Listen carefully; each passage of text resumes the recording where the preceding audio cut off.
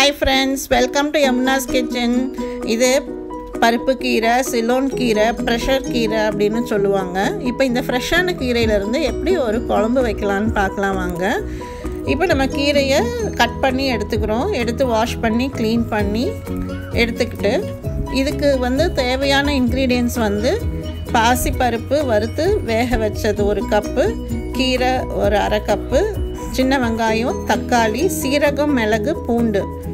இவ்வளோ தான் நம்ம எடுத்துக்கிறோம். இப்போ ஒரு வானலியில் எண்ணெய் ஊற்றி எண்ணெய் காஞ்ச உடனே சீரகம் மிளகு அதில் போடுறோம். போட்டு அது பொரிஞ்ச வாட்டி நம்ம கட் பண்ணி வச்சிருக்கிற வெங்காயமும் வரமிளகா போட்டுக்கிறோம். ஒரு உங்களுக்கு காருக்கு காரத்துக்கு ஏற்ற மாதிரி வரமிளகாய் யூஸ் பண்ணிக்கோங்க. போட்டு நல்லா வணக்கிடுறோம். தேவைக்கேற்ற உப்பு வெங்காயத்துலேயே போடுங்க. ஸோ அடி பிடிக்காது வெங்காயம். அதுக்கப்புறம் ஒரு தக்காளி போடுறோம். தக்காளி போட்டு அதையும் நல்லா வணக்குங்க. வணக்கின வாட்டி நம்ம பருப்பில் ஏற்கனவே மஞ்சத்தூள் போட்டிருக்கோம். ஒரு மூணு பல் பூண்டு போட்டு வேக வச்சுருக்கேன். ஸோ இது நல்லா வணங்கின வாட்டி கீரை கட் பண்ணி வச்சுருக்கோம் இல்லையா? அந்த கீரையும் போடுங்க. போட்டு நல்லா மிக்ஸ் பண்ண வாட்டி நம்ம ஒரு கப்பு பருப்பு வேக வச்சதை அதில் போடுங்க. போட்டு நல்லா கொதி விடுங்க. தண்ணி கொஞ்சம் ஊற்றிக்கோங்க இதில் வந்து வேறு எதுவும் மசாலெல்லாம் நம்ம மிக்ஸ் பண்ணுறது இல்லை. உங்களுக்கு வந்து கொஞ்சம் அந்த மசால் டேஸ்ட்டு பிடிக்குன்னா பட்டை கிராம்பு நீங்கள் தாளிச்சிக்கலாம். நான் வெறும் சீரகம் மிளகு பூண்டு தான் தாளிக்கிறேன்.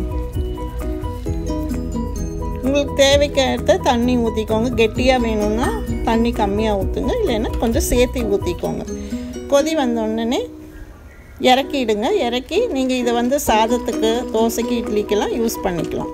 இப்போ லஞ்சுக்கு கீரை குழம்பு ரெடி ஒரு சூப்பு குடிக்கலாம்னு நினச்சி போய் ஃப்ரெஷ்ஷான முருங்கீரை பறிச்சிட்டு வந்து க்ளீன் பண்ணி வாஷ் பண்ணி எடுத்துக்கிட்டேன்.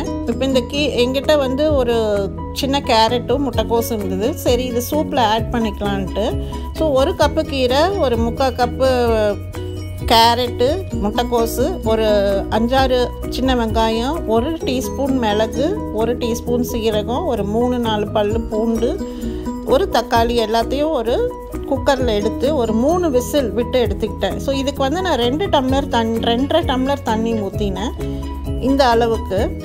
உங்களுக்கு வே எவ்வளோ வேணுமோ அதை கூட்டி குறைச்சி சேர்த்திக்கோங்க. இப்போ இதை ஒரு மிக்சி ஜாரில் எடுத்து ஒரு விழுதாக அரைச்சிக்கிட்டேன்.